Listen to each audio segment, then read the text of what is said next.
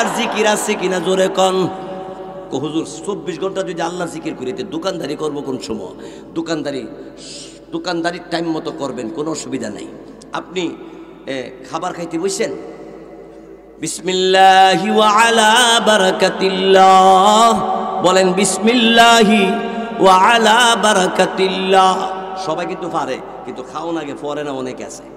মন তাহে না গুরুত্বই নেই মানে আমলে পরিণত নাই। খাবার শেষে দোয়া আছে না নাই? আলহামদুলিল্লাহিল্লাযী আত'আমানা ওয়া মুসলিমিন। সমস্ত প্রশংসা ওই আল্লাহর জন্য, যে আল্লাহ আমারে খাওয়াইছে, আমারে পান করাইছে, ওয়া সাকানা আমারে পান করাইছে, ওয়া জাআলানা মিনাল মুসলিমিন, যিনি আমাকে মুসলমান বানাইছে। জানছে কি সুন্দর। মুসলমান। এইভাবে তুমি যখন দোয়া করো, আল্লাহ রব্বুল আলমিন বলে, বান্দা, খাবার আগে দোয়া করেছিস খাবারের পরে তুই আমি আল্লাহর জিকির করেছিস। পুরাটা খাবারের যত দানা পেটের ভিতর গেল, প্রত্যেকটা দানা জিকিরে তোর নামে নেক লেখা হবে। এরপরে খাওয়ানোর বেলা কি? দাওয়াত দেবেলা কো আমরা ভাই যাইবেন, সাইডটা ডাইল ভাত খাইবেন। সাইডটা ডাইল ভাত খাওয়া। নাকি ফুলাও, কুরমা, টুরমা, এবার আদা বলব খাইয়ে বেড়া দাওয়াত দেবেলা ক সাইডটা আর উনিও ক যে যাক, যা মতো না ভাই সাইডটা ভাত খাইয়ে এমন সাইডটা খাইয়ে হ্যাঁ? আদা বল খাইয়েছে এরপর আয়েবেলা ক বিয়ের বাদ গতবার যেভাবে খাইছিলাম, এবার খাইতেছি না মেমান বেশি। খাওন বলো হইছে না, আদা বল খাই বলো হইছে না। আল্লাহ আদা বলো, যেটার মধ্যে সাড়ে সাত কেজি ধরে। সোয়া তিন কেজি গেছে বলে খাওয়ানো না। ও মুসলমান। তারপরে আমার মেয়ের এরপরে মসজিদে ডুববার সময় আল্লাহর জিকির আছে কিনা জোরে কন। আল্লাহ মাফতাহলি আবওয়াবা রহমাতিক। সবে বলেন। চব্বিশ ঘণ্টা সব হইব। নবীজি বলেন, যে ব্যক্তি মসজিদের ভিতরে ঢুকছে হ্যাঁ।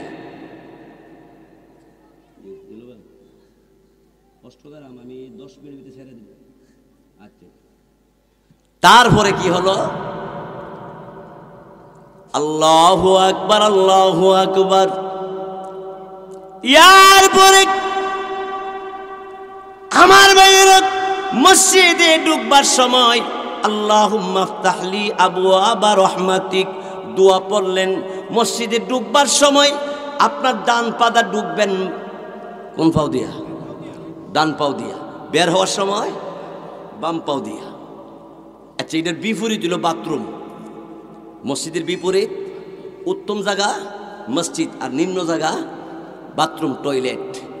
তখন তো বাথরুম বাথরুম না আল্লাহ, আগে তো টাট্টি আসিনি এটা নাম টয়লেট হইছে। আমি সিলেট বিয়ানি বাজার, জিন্দা বাজার করতাম, গেছি এক লন্ডনই তারে তা আমার দোতালাত নিয়ে বসাইছে। তা আমি বললাম যে একটু বাথরুমে যাইতাম। ক, যাবেন? বলা, হ। তো দরজা খুলে দিছে, আমি ভিতরে গেছি। ভিতরে গিয়া দিয়ে এত জাতের সুইচ, এরকম বেহা, বুহা, কালারিং, টোলারিং, বিভিন্ন আইটেমের। আমি কি কোনটা দিতাম, না দিতাম, জিগাই যদি কেবল হুজুদি কিচ্ছু জানে না। সরম না? পরে একটা মধ্যে টিপ মাইরা দিছি, কাতি মাস ওখানে স্বেচ্ছা বাইরা এর মারেন শুরু করছে। আমার পুরা ফান যাবি সারাটা বিজে আমি খারাপ লিছি আমি খত মেনুজ পড়তেছি, মেঘ নামে না, মেঘ থামে না। পুরা তুফান। ছাঁট ছাঁট ছাঁট বেরিতেছে। পরে বন্ধ করবার লাগে আর একটা টিপ দিছি পরে সায়দি বাপরির বিতে তাহনও মতন না। পরে ফালদা বাইরেছি মালিকে কো কিতে হয়েছে পয়সা? পরে গেছিলেন গা, আমি খারা তো মেঘ দিলে ভিতরে কো, আপনি কে হিটাত মারছেন? আমি এটা কিতা? ওইটা ফাল্গুন চৈত্র মাস মেঘ বৃষ্টি না হইলে তখন এটার মধ্যে সুইচ দিয়া মেঘের মতন আমরা বিজি বোঝেন আলার বাথরুম আর টয়লেট, ওই সেটা কি?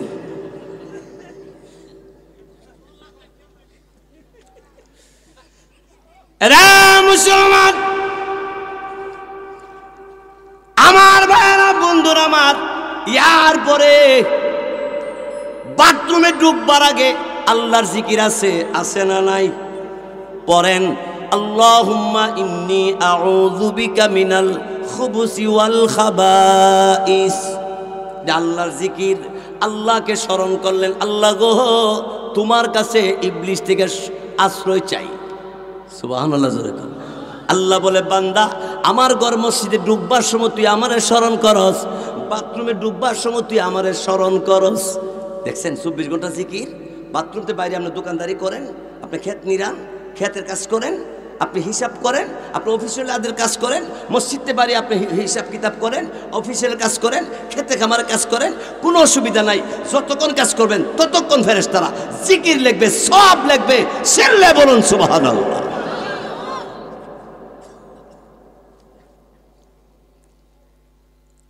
এই সুবাদে আল্লাহ রব্বুল আলমিন সুরে আহজাবে একচল্লিশ এবং বিয়াল্লিশ নম্বর আয়াতে যে কথাটা বলছেন, সেই কথাটা বলে আমি শেষ করব।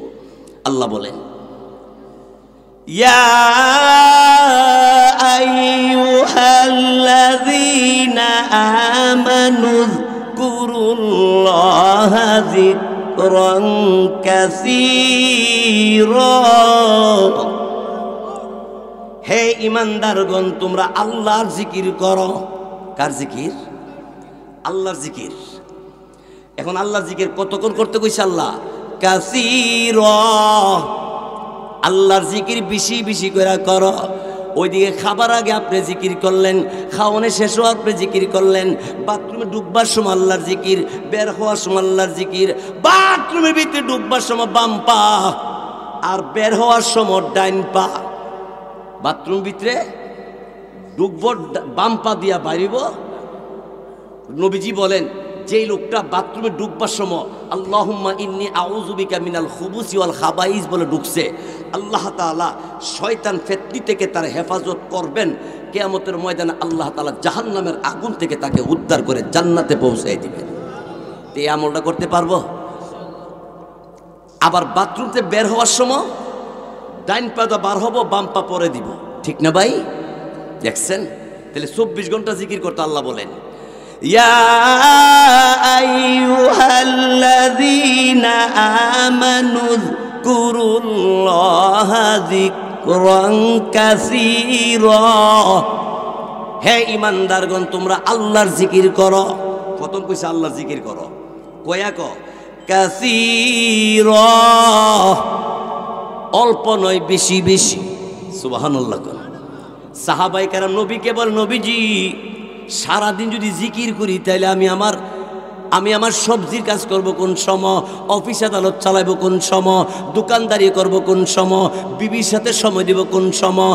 নবীজি বলেন ফজর নামাজ পড়ার পরে জোহরের নামাজ তুমি যদি পড়ার নিয়ত করো, এর ভিতরে খেতে খামার, অফিস আদালত, খেতের সবজি যে কোনো কাজ করবা, এই পুরাটা সময় ফেরেশতাদেরকে আল্লাহ রব্বুল আলামিন বলে, এই ফেরেশতারা, আমার বান্দা ফজর পড়েছে, আবার জোহর নামাজ পড়ার নিয়ত করছে। আমার বান্দা নামে সোয়াব লেখো। ফেরেশতারা কয়, আল্লাহ হেদি দাঁড়াইস পারে হেতো ও আল্লাহ এই বেড়া দিয়ে যাইতেছে গা দোকান খুলতো। ফজর হইরা বেড়া আর কোন কাম করে আল্লাহ কো ফেরেস্তা আমার বান্দা নামে আলি সব লেখ। ক কতক্ষণ লেখতাম? ক জোহর পর্যন্ত। সুবাহান্লাহ জোরে জোর পর্যন্ত সব লেখার পরে উজু বানায় যখন বান্দাটা মসজিদে ঢুকে গেছে গা তখন আল্লাহ ক কিরে ফেরেস্তা এতক্ষণ আমার বান্দা নামে যে সব লেখছিলে এই জোহর ফজর থেকে জোহর পর্যন্ত এই ফাঁকা সময়ে আমার বান্দা কি কোনো গুণা করছে ফেরেস্তারা ক আল্লাহ তুমি তো জানোই তার জিগাও করে এক দরকার আছে কি দরকারটা এই ব্যাপার আল্লাহ কোরআন শরীফ আরেক জায়গা বলেন وَإِذْ قَالَ رَبُّكَ لِلْمَلَائِكَةِ إِنِّي جَاعِلٌ فِي الْأَرْضِ خَلِيفَةً আল্লাহ পাক ফেরেস্তার জিজ্ঞেসছিল আমি মানুষ বানাইতাম চাই আমার প্রতিনিধি বানাইতে চাই তোমরা কি কও ফেরেস্তার যে কথাটা কইছিল قالوا أتجعل فيها من يفسد فيها ويسفك الدماء আল্লাহ, এরা হালি মারামারি, কাটাকাটি করব, তোমার ডাকতো না। আল্লাহকে ওই যে কইছিলা তখন তোমরা সব লেখছ, এখন আমার বান্দা কি করছে? ক ফজর পড়ছে, জোহর পড়ছে। সব লেখ শুনে বলে, হ। এখন জোহর নামাজে কি করে? ক দাঁড়ায় গেছে নামাজও। ক তাহলে জোহর আর ফজরের মাঝখানে কোনো গুণা হয়েছিনি ক টুকটা কিছু গুণ হয়েছে ক সব কাটটা দাও। সোবাহান আল্লাহ জোরে কর ও আল্লাহ কেরে কাটতে দিতাম। কমার বান্ধব ফজর ফইরা সারাদিন তার সংসারে কাজ কইরা জোহর নামাজ দাঁড়ায় গেছে গা। আমি আল্লাহ তার নামে গুণা রাখলে আমি আল্লাহর মান হান থাকে না। সোহান আল্লাহ আল্লাহ আল্লাহ তু মেরা মালিক হ্যাঁ আল্লাহ আল্লাহ তুমেরা খালিক হ্যাঁ আল্লাহ আল্লাহ তু মেরা গফার হ্যাঁ আল্লাহ আল্লাহ তুমেরা সত্তার হে। অর্থ হে আল্লাহ, তুমি আমার মাফ করনেওয়ালা। ও আল্লাহ, তুমি আমার গুণার দেখে রাখনেওয়ালা। ও আল্লাহ, তুমি আমার সৃষ্টি করনেওয়ালা। ও আল্লাহ, তুমি আমার মালিক, তুমি আমার মালিক। জোরে কোন, সুবাহান। তারপরে ওই বাংলা জোহরে নামাজ পড়ে নিয়ত করছে, আমি আসর পর্ব ঘটনাক্রমে আসর নামাজে মসজিদে আইতারছে না ঘটনাক্রমে আইতে পারছে না। আল্লাহ ফেরেস্তারা কইছে, জোর পড়ছে বলো, হ, আসর পর্যন্ত সোয়াব লেখ। সোয়াব লেখছে, এখন আসর নামাজও মসজিদ আর আইতে পারছে না। না আইতে ফেরে বাড়িতে পড়ছে অথবা বাজারে মসজিদে বা কোনো না কোনো জায়গায় পড়ছে অথবা খেতের লাইলো ফেরা লেছি ফেরেস্তারা কিরে আমার বান্দা নামে জোহর থেকে আসর পর্যন্ত সব লেখছ, কহে লেখছি। তো আমার বান্দা মসজিদে আইসে কো আয় নাই। তখন কি করব আল্লাহ? আল্লাহ কো আমার বান্দার নামে যে কোনো গুণা হয়ে তাই আসর থেকে জোর পর্যন্ত কাটতে দাও। কো আল্লাহ, ফজর থেকে জোর পর্যন্ত সব লেখছি গুণা হয়েছে কাটতে দিছি, জোহর নামাজে খার হয়েছে কিন্তু আসর তো পড়ছে না, এই মসজিদে আয় নাই। আল্লাহ রব্বুল আলামিন তখন ফেরেশতারে ডাক দে বলে, কি? এই ফেরেশতা অপেক্ষা কর, দেখি আমার বান্দা আদায় করেনি। মাগরিবের নামাজে বান্দা আসছে, আসর পড়ছে না কিন্তু, মনে আছে নেই মাগরিব পড়ছে, ফেরেশতারে ডাক দেখো, আসর থেকে মাগরিব পর্যন্ত সব লেখ, লেখছে, গুণা হইছে। ও টুকটাক কিছু গুণা হইছে তো, কো কাটতে দে। সুবহানাল্লাহ, জোরে কর এবার মাগরিব পরে এশার নামাজে আসছে। এশার নামাজের সময় এশার নামাজ পড়ার পর আল্লাহ ডাক দে বলে ফেরেশতারে মাগরিব থেকে এসা পর্যন্ত আমার বান্দার নামে সব লেখা দে। গুণা হইছি নি কো? হইছে তো কিছু কাটতে দাও। এখন আপনারা উত্তরটা দেন। ফজর থেকে জোর পর্যন্ত গুণা নামাজ পড়ার কারণে মাঝখানে গুণা যা হয়েছে সব কাটতে দিছে। সব তো আসই আবার জোহর থেকে আসর আসর থেকে মাগরিব মাগরিব থেকে এসা আর এশা পর থেকে তো ফজর পর্যন্ত সারা রাত্রি সোয়াবে গত কই গেলেছি। নাকি কই নাই? বুঝাইছে? ফেরেস্তারা গল্লা ফজর, জোহর, মাগরিব, এশা। মাঝখান আসর তো এখনও পরে নাই। আমার আল্লাহ নাগে বলে, দেখ, আমার বান্দা পরের দিন কাজ আদায় করেনি। সুবাহান আল্লাহ সুবাহান আল্লাহ, পরের দিনও তো আদায় করে নাই, এর পরের দিনও তো আদায় করে নাই। রাগ, আর দেখ তো আমার বান্দাটা আদায় করার নিয়ত আসেনি ফেরেস্তার আল্লাহ আমরা তো অন্তরের খবর জানি টানি না এটা তো তুমি জানো আল্লাহকে আমার বান্দার অন্তরে নিয়ত আছে নামাজ ফরন লাগবো এটা ফরসের মধ্যে মন আছে নিয়ত যে করে রাখছে দেখি আমার বান্দা জীবনে কোনোদিন আদায় করিনি আমি আল্লাহ মাফ করে দিব এর নাম হলো আল্লাহ এরপর আসেন وسبحوه بكرة وأصيلا سبحان الله জোরে কোন وسبحوه بكرة وأصيلا আল্লাহ বলেন সকালে আর বিকালে জোরে বলেন সকালে বুকরাতুন শব্দের অর্থ হলো সকাল আসিলা শব্দের অর্থ হলো বিকাল অর্থাৎ সকালে আর বিকালে তোমরা আল্লাহর জিকির বেশি বেশি করে করো কিন্তু এর বিপরীতে আল্লাহ পাক আরেক আয়াতে কি করে দেখেন فليضحكوا قليلا وليبكوا كثيرا سبحان الله কোন فليضحكوا قليلا وليبكوا كثيرا এখানে আল্লাহ বলেন ওইদিকেও কাসিরা বলছে এখানেও কাসির শব্দ বলছে এখানে আল্লাহ বলেন কম হাসো বেশি করে কাঁদো ওখানে বলে আল্লাহ, সকাল বিকালে আল্লাহর জিকির করো। এই কথার বোঝা দরকার। সকালে মানে কম হাসো, বেশি কাঁদো। এর ব্যাখ্যা কি? মুফাসির কারাম তফসিরি কিতাবে লেখে, কম হাসো এর অর্থ হইল, প্রয়োজন হইলে হাইস, অনার্থক হাইস না। প্রয়োজনে হাসবা, অনার্থক হাসবা না। অনার্থক হাসবা না মানে রং তামাশা দেখে, খেল তামাশা দেখে, বিভিন্ন বাজের দিকে তাকায়া হাসবা না, হাসবা বিবির সাথে, হাসবা ভাইয়ের সাথে, হাসবা মার সাথে, হাসবা শ্বশুর শাশুড়ির সাথে, নিজের সন্তানাদির সাথে, অযথা অহেতু হাসবা না, এর অর্থ কম হাসো। কিন্তু আমরা তো হাসিল শাস্ত্র গিয়া। ক কি কইতা ক কি কইতাম? ক কিতা কইতা? কখন চলে অমুকের ব্যাপারটা এরা কিন্তু কেউ জানে না তাই জানাইতে গেছে তিনি সাংবাদিক। কিবাদিক বুজ্জালয় হাস্যর ময়দানে। তারপরে গেল। আমি মমেন সিং, নেত্রকোনা ওয়াজ করতে গেছি, ওখানে গিয়ে শুনি মারামারি হচ্ছে আমি কি লেগে মারামারি? ক সিঙ্গারা লইয়া। আমি সিঙ্গারা কিতা হইছে? ক সিঙ্গারের ভিতরে আলুর ভর্তা গেছে কেমনে? জানালা নাই, দরজা নাই। ইটা লই লাগছে। হেরা কেমন চিন্তাবিদ, সিঙ্গারে বিদিছে সিঙ্গারের ভিতরে আলুর ভর্তাটা গেল কেমনে? জানালাও নাই, দরজা নাই, ছিদ্র নাই গেল কেমনে? এই কথাটা লই লেগেছে গেছে দেখেন আল্লাহ কত নিম্ন মানুষ চলে গেছে। মানুষ কি লেগে লাগে? কৈতল লইয়া। চলার পথ আগে পরে লইয়া। যেরকম ঠিক না? দশ পাই লইয়া। সাধারণ জিনিস লইয়া ঝগড়া করে মানুষ। উল্লেখযোগ্য জিনিসটা খুবই কমই ঝগড়া হয়। এরপরে আল্লাহ রাব্বুল আলামিন বলেন, ওয়ালিয়াবকু কাসীরা। বেশি বেশি করে কাঁদো। এর অর্থ হলো, তুমি রাত গভীরে ঘুম থেকে জাগো।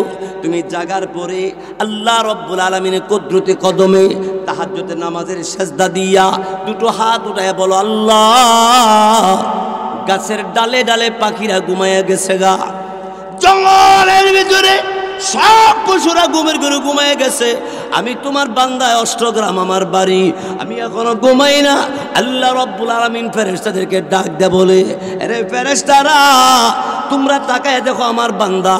আরামের কম্বল, সুন্দর জাজিম, সুন্দর বালিশ থইয়া। আমার বান্দা ঘুমায় না। আমি আল্লাহর কুদরতি কদমের সাজদায় পড়া কান্দে। আল্লাহ ডাক দলে রে বান্দা, সবার মাথা বালিশে। আর তোর মাথার আমি আল্লাহর কুদরতি কদমে। আরে বান্দা, আমি তোরে মাফ করব না, কারে মাফ করব? এই বান্দা, তোরে আমি আমার রহমতের করে ওঠানোর জন্যে আমি আল্লাহ কুদরতি হাত জন্য বাড়াই দিছি। আয় বান্দা, তোর আমি কোলে নিয়ে নিব। সেই জন্য যুবক ভাইয়ের আমার, মুসলমান ভাইয়ের আমার মুরব্বীরা আমার খুব খেয়াল করেন। অসুস্থ হইবার আগে বান্দা যদি আল্লাহরে ডাকতে থাকে, অসুস্থ হয়ে গেলে আল্লাহকে ডাক দিলে একবার, আল্লাহ বারবার জবাব দিয়া বলে, বান্দাকে টেনশন করিস না, তোর অসুস্থকে আমি আল্লাহ সুস্থ করব। তুই যেবার ধনী ছিলি, আমি আল্লাহরে ডাক দিয়েছিস। আমি আল্লাহ তোর দুনিয়ার দুনি বানাইছি কেমতের ময়দানো দুনি আরে বান্দা, দুনিয়ার জমিনে গরিব থাকা অবস্থায় আমি আল্লাহরে ডাকছো। দুনি হয়ে যাওয়ার পর আমি আল্লাহকে ডাকো। জোয়ান কালে আমি আল্লাহরে ডাকো। বুড়া হয়ে গেল, আমি আল্লাহরে ডাকো। সকালবেলা আল্লাহরে ডাকো, বিকালবেলা ডাকো। আমি আল্লাহ ডাকের ফাঁকে তোমার ব্যবসা বাণিজ্য সব করো, সব ইবাদত হয়ে যাবে। ইয়া আইয়ুহাল্লাযীনা আমানুজ কুরুল্লাহ যিকরান